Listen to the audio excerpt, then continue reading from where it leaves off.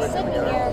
Today I'm at ICAST 2015 here at the Eposeidon booth. They have Task King, Ikuda, and MadBite Ur. Well, today I'm going to talk about the new reel by Task King, the Royale Legend. Now, if you're used to buying KastKing products, there is a KastKing Royale.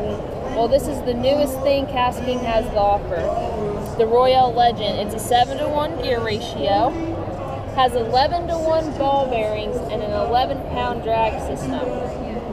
Of course, it comes in a left and right hand model.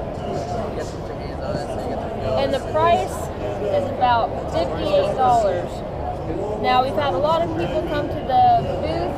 We've had some flipping contests, and we've had a lot of great responses. Positive feedback to us, and we're loving it. Go to eposeidon.com or kastking.com, check it out.